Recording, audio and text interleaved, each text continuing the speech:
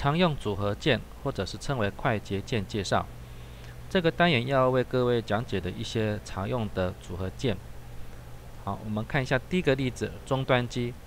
好，Ctrl 键加 LT 加特 T 这个英文字啊，那你也可以从面板上面呼叫终端机。好，通常我们往往习惯在面板上点选就可以呼叫。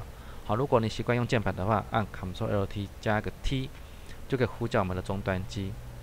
好，那第二个 Ctrl Alt 加 F1 到 F7 这几个可以切换终端机。那其中呢？F1 到 F6 是纯文字的终端机哈。如果您使用的时候不小心按着 Ctrl Alt 加 F1，或者是到 F2 到 F6 的话，您可能会进去纯文字的终端机哈。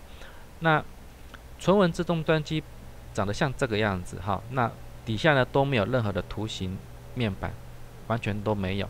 这个时候你要回到图形终端机的话，您必须按。Ctrl Alt 加 F7，好，请各位可以试试看哈。那这部分因为我们在录影是没办法做这样子的效果。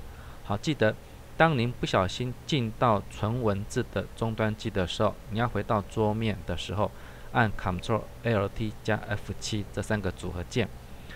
好，再来第三个，有的时候我们的图形桌面的系统会完全的宕机哈。所谓宕机就是你可能没有办法从选单这边点选登出，啊，或者是从这边退出重新开机，好，或者是这些选单点的都没有效果，这个时候我们就必须进入纯文字的终端机，好，Ctrl L T 加 F1 到 F6 都可以。进去之后呢，再按这三个键啊，Ctrl L T 加 Del，好，把我们的电脑重新开机。好，如果说您没有办法进入纯文字的终端机的时候，您才使用强制关机，就是按住电源键不要放，好，五秒钟、六秒钟以上，电脑就重新关机。好，那不建议各位强制关机哈，那还是使用这个方法。好，先进去终端机之后呢，按 Ctrl LT Del。好，再来常用的是 LT 加 Tab 键，可以切换执行中的软体。好，好，那这样子，再来切换输入法，在这个 NTPC 的 ISO 档里面的设定呢是 GCIN 的输入法。那切换中文输入法呢，就是 Ctrl 加空白键。好，记得一定要在有输入状态底下才可以切换。好，例如我现在是在 Gedit 里面，我可以按 Ctrl 加空白键切换输入法。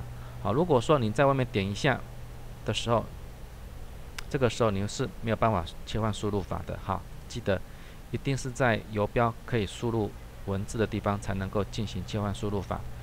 再来，Ctrl 加 Shift 键呢，就是当你在输入法的状态底下呢，你要切换不同的输入法，例如切成大意，好，行列注音，好，词音就新注音的意思。好，最后一个呢是视窗键加 D，好，我们可以用 Window 键加一个。英文字字母 D 好，可以显示桌面。好，那组合键呢，常用的就为各位介绍到这边。好，最重要的就是第三项，好和第二项。当您的桌面宕机的时候，您要怎么样关机？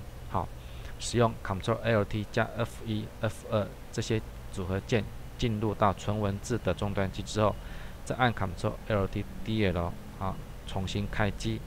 好，那这个单元就为各位介绍到这边。